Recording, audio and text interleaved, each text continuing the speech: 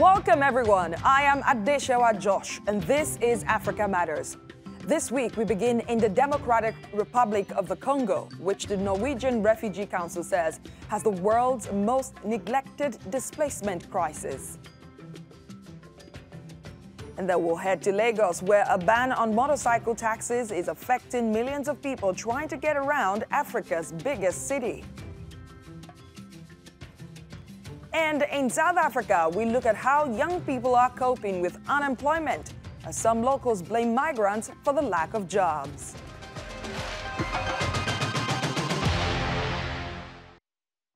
A diplomatic spat between the Democratic Republic of the Congo and Rwanda has been escalating in recent days as both sides accuse each other of aiding armed groups in the eastern DRC region. Last week, Kigali accused the Congolese armed forces of firing rockets into its territory.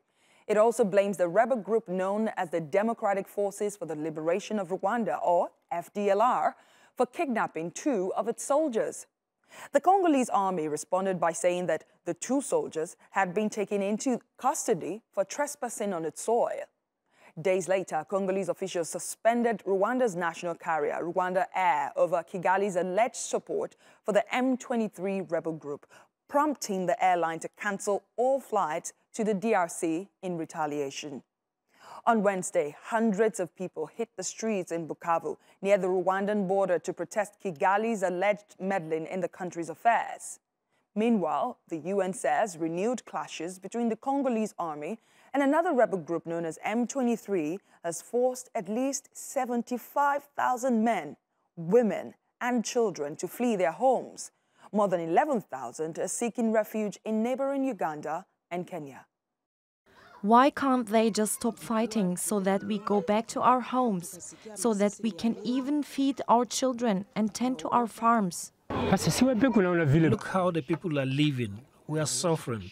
There's no water, and we have got nothing to eat because we just fled without bringing food from home. In their latest report, the aid group Norwegian Refugee Council describes the unfolding humanitarian crisis in the Democratic Republic of the Congo as the world's most neglected displacement crisis. And despite vast mineral resources, the country has topped the list of 10 African countries that face international political neglect, lack of funding pledges, and insufficient media coverage. Here's why. Around 27 million people went hungry last year, or one in three people did not have enough food to eat because of recurring conflict. By the end of last year, 5.5 million people were internally displaced, the highest number on the continent, with a further 1 million fleeing abroad. But there were no donor conferences called to raise the nearly $2 billion needed for humanitarian assistance. Only 44% of less than half of the funding requested by the UN for humanitarian aid was received. In contrast, the aid group says it took just one day this March for a humanitarian appeal for Ukraine to be almost fully funded. Let's hear more from Umar Kabanda, a researcher and policy leader fellow at the School of Transnational Governance. He joins me from Florence, Italy. Thank you so much for making out time to come on the program. Do you think the tensions between the DRC and Rwanda will be resolved peacefully this time around, and how? Uh, thank you for hosting me uh, to the show today. Yes, to a greater extent, I believe this time around uh, a solution will be created because now it's very clear the combatants and the uniforms of those who are captured by the MONUSCO forces and the DRC army, they are from Rwanda. So in such a situation, we are now not doubting the origins of uh, the M23 and the funders. And in such a way, why I'm saying that chances are higher that uh, today, this time around, a solution will be created is the fact that DRC has just joined the East African community. And by joining the East African community, that is on 29th of March, uh, 2022. So by joining the East African community, it means that now they get into a political integration uh, front and a bloc. Within this bloc, quite a lot more can happen. And among some of the things that can happen are the dialogues which may facilitate new or renew the diplomatic relations between uh, DRC Congo and Rwanda, as well as reduce the rates of uh, insurgencies in DRC Congo. Umar, so based on the fact that let me quickly take you back to the point you made about the combatants wearing uniforms uh, that links them to Rwanda. Is the uniform a strong enough evidence to connect them to Rwanda, though? Because Rwanda says it's got nothing to do with these rebels.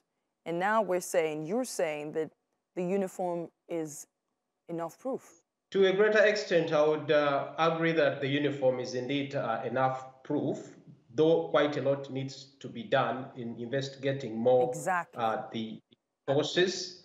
And beyond this, we, we also have to understand that uh, M23 continuing to fight for all this long while coming with new tactics and new weapons. So if they can be able to trace the uniforms and guns, then that means to a greater extent they can be able to attach the origin of those equipments and wares or clothes to a specific country, and then more needs to be investigated. So to a greater extent, there is an indication of where uh, the forces might be coming from, and more investigation needs to be done to confirm so that more diplomatic uh, relations are rebuilt once again in the region.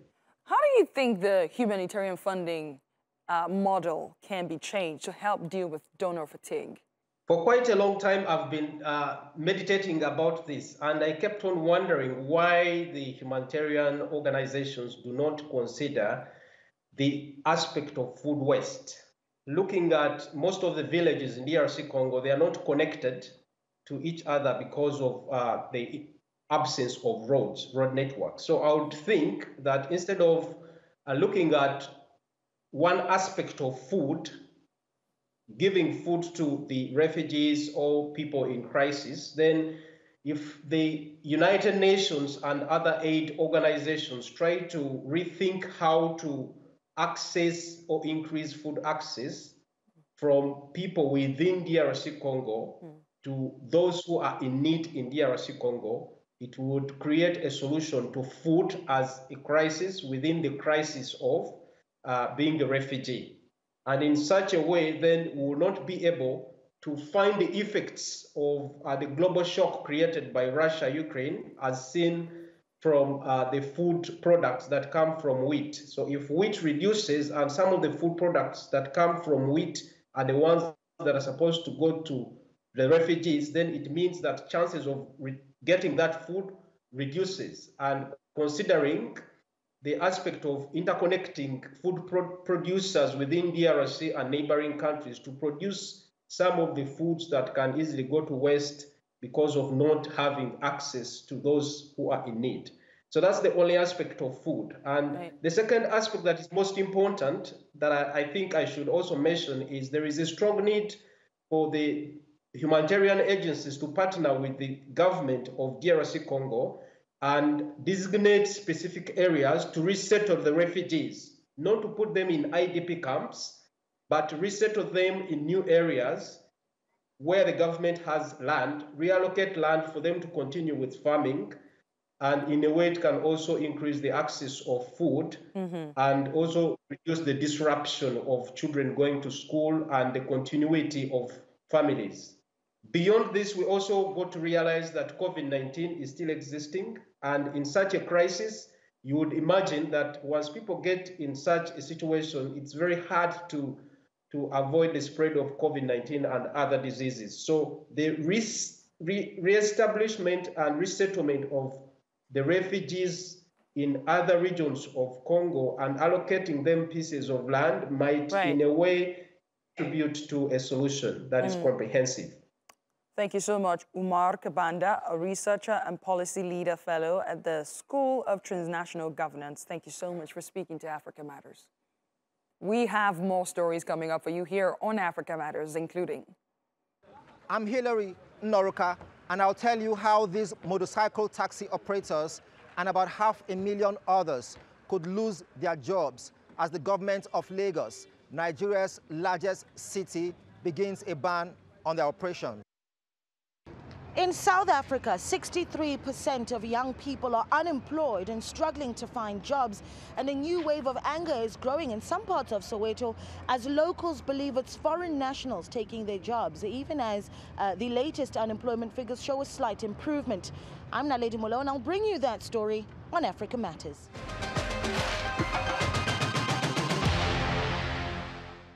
Authorities in Lagos, Nigeria's largest city and home to 20 million people, are placing a partial ban on motorcycle taxis, which move millions of residents every day. From Wednesday, the taxis are barred from operating in six affluent areas of the city. Hilary Noruka has more. Introducing Lagos's ubiquitous motorcycle taxi, known as the Okada. They are everywhere in the city, weaving through the legendary traffic to get commuters to and from work. An estimated 3 million people depend on Okadas for their livelihood. But a new ban on the vehicles in six of Lagos's biggest commercial districts threatens to leave about half a million of them jobless. Idris Buka is one of them, and he fears his life will come to a halt. If you ban Okada for Lagos, we are suffer, we enter suffer. Suffer not be small. Because this Okada work what we do, like me, now they fill my house, I they pay house rent, school fees, everything na Okada. And I don't get any job now Okada me at the drive. Okay, now if don't ban the Okada, where I will go? Lagos has always had a tenuous relationship with the Okada. Authorities say the drivers commit crimes and cause disorder. They are already restricted to inner streets in low income areas, and there have been a few bans and crackdowns in the past decade. Buka has had his motorcycle seized three times. Each time, he managed to get a new one and return to the streets. The ban was triggered by the lynching of a young man in Lekki one of the more affluent areas of Lagos. He got into an argument with some Okada riders who beat him, stripped him, and set him on fire with everything caught on tape. The tape went viral and led to a citywide outcry. A spokesperson from the Lagos state government says that after this incident, there is no going back this time. This recent ban, I assure you, is driven by the people by themselves. The Russians are saying enough of the tyranny of the Okada riders. They are saying that enough of insecurity. They are saying that enough of, uh, of uh, indecency that Okada constitutes in a place like uh, Lagos. I mean, it's uh, an emblem of uh, lack of civilization. It's an emblem of retrogression. The government says it offers loans and opportunities to learn new skills. But Okada riders like Buka say they have few options. They may decide to operate in the congested low-income areas where motorcycle taxis can still operate. Leave Lagos for another city or take a chance and learn something new. Hilary Noruka, Africa Matters, Lagos. South Africa is one of the most unequal countries in the world. And while the gap between the rich and poor widens, young people are struggling under growing unemployment and are feeling more and more disenfranchised. Naledi Moleo reports from Soweto. Lebogang Rammusi is 35 years old, and for the past 11 years, she has been unable to find a job. I got a job doing promotional work in 2011, and that ended quickly. That's when it all stopped. I once earned $6 for a month of work. That's when I felt that it's all the same. I kept sending my resume out. At interviews, I was told I would be called back, and the calls never came. Ramusi depends on her mother's social security grant to get by, as does her sister's two children. Four people, depending on one pension grant of $132 a month. For Lebogang, the hardest is seeing her peers progress in their lives while she feels stuck. The Youth Employment Services Harambee Youth Accelerator program says it's seeing some successes, but joblessness is hard to shake for some young people. The good news is that we've gone up by half a million, almost half a million people have been employed this quarter. So that's definitely positive, and we're very excited about that. I think the bad news is that when you look at people who are not in employment, not in education, and not in training, who we call NEETs, then you're looking at an increase of 4.6%. South Africa's latest unemployment rate at 34.5% is an improvement from the last quarter, but that number jumps a further 10 percentage points when it includes those who have simply given up hunting for jobs. Many young people on the streets of Soweto feel the same way. Some South Africans believe they know who is to blame. Look at all the young people not working. Nhlanhla Lux is one of the leaders of Operation Dudula, a controversial movement proclaiming that illegal immigrants are to blame for the shortage of opportunities for young South Africans. We'll start leading ourselves as you are seeing that we are doing it now because we are leaderless. We are, we just have leaders that prioritize foreigners, be it legal or, illegal. It's ir irrelevant in this case. We have South Africans that are young, that are without jobs, that are, that are resorting to crime and other elements just to survive. There is nothing else young South Africans can do. 63.9% of people under the age of 35 are unemployed in South Africa. And while the latest employment figures show the first improvement since 2020, the frustration on the ground is still very much palpable. Naledi Muleo, Africa Matters, Soweto.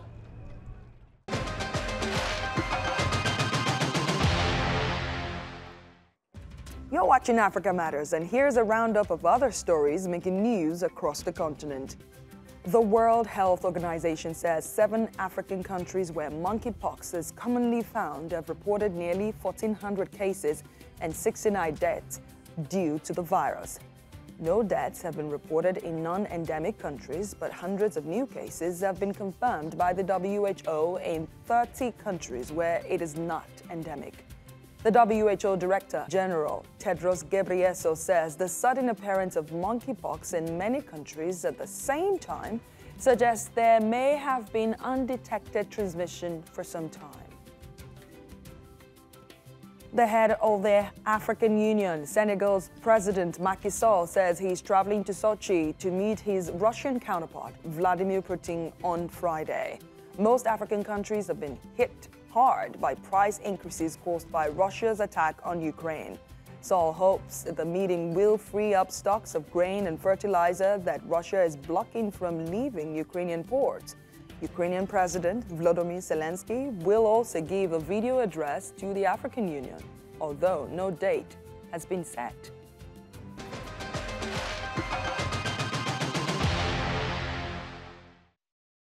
According to the World Cancer Research Fund, there were more than 18 million cancer cases around the world in 2020. Population growth, aging, and smoking have led to the rise of the disease in Africa. A Ghanaian cancer research and diagnostic startup wants to expand the world's knowledge of how cancer affects African people. Sena Sailan has the story. This small research clinic in Ghana is racing to find treatments and cures for cancer. Pathologist Kafui Akakpo is studying the various kinds of breast cancer that affects black women. According to his research, black women are more likely to develop more aggressive and advanced stage breast cancers. But he says those findings aren't reflected in international studies. Even though breast cancer has been studied extensively throughout the world, the truth is that most of the cases are not um, Africans if you look at every study across the world, there are very few of them who are Africans. So what this does is that you come to the African population and study it, and that has effects on African Americans and any other group that has a basis in Africa.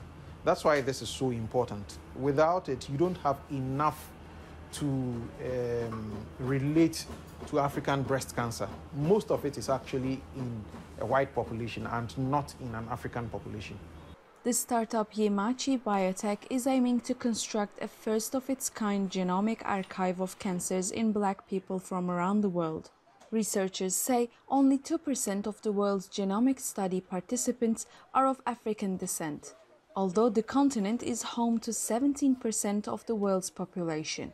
The reason Yemaachi is focused on cancer is partly because no one else is looking at cancer in Africa all our research, or majority of our research, is focused on infectious diseases. And yet we have one of the world's fastest growing burdens of cancer.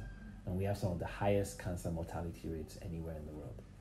So, as much as HIV and malaria are problems, cancer is a huge problem, and it's actually a problem that is growing faster than those other problems.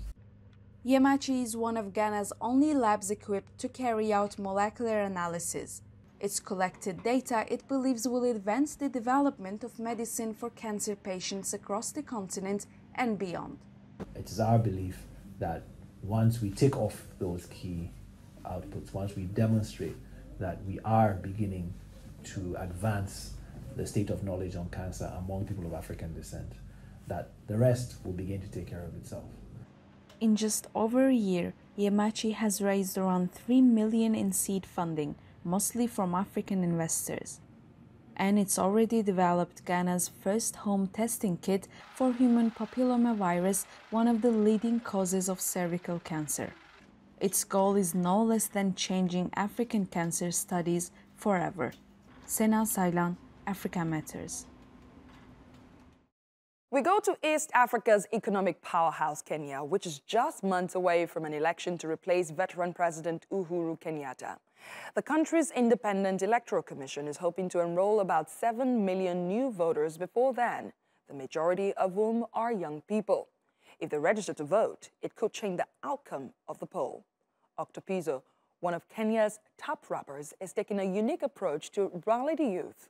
Daniel Padwick has the story. Henry Ohanga, also known as Octopizzo, is a well-known musician in Kenya. He's leading a campaign called Umechukua to encourage people to vote in the August presidential and parliamentary elections. For us, it's giving them the understanding that this is the power that the most power you'll ever have as a young person or as a registered voter that you have a power to fire and hire. You know, and that's, that power is, has not been told to us. We just think, like, yeah, you go vote, you go home. They don't know, like, it's the biggest power you only have once every five years to choose uh, to move this direction, move this country in a different direction. But years of broken promises, corruption scandals, and vote rigging allegations have left Kenyan voters disillusioned. Registration drives have attracted about 2.5 million new voters, but it's less than half of the target number, the lowest since multi party democracy was established in 1992. Many of them, you know, uh, uh, uh, seem not to be very much keen on participating in, in the elections. Uh, discussions we have with them, they, they tell us, you know, they don't see change in their lives. Uh, you know, so there is no point of voting. You vote in the same people, you know. So there is that general voter apathy, which we have seen particularly in the, in the, in the youthful age, uh, who are supposed to be coming into the voting bracket. Octopizzo is doing everything in his power.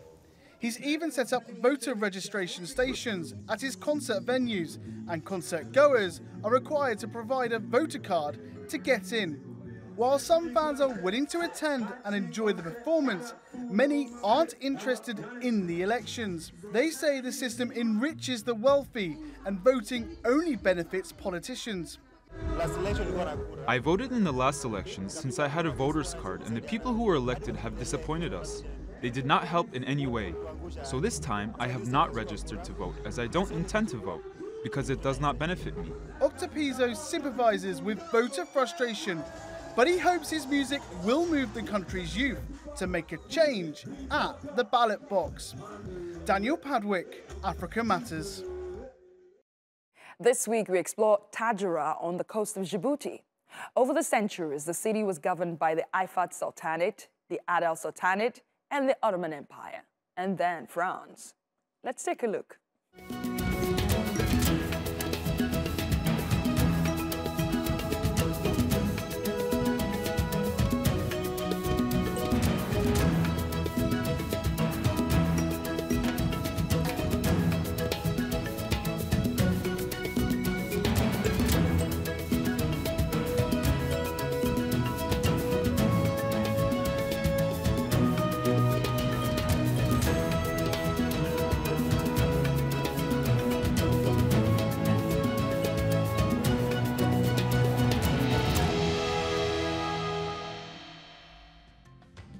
That's our show this week. Please share your thoughts and suggestions about the stories you've seen on this episode or ideas you would like us to cover on Twitter using the hashtag Africa Matters.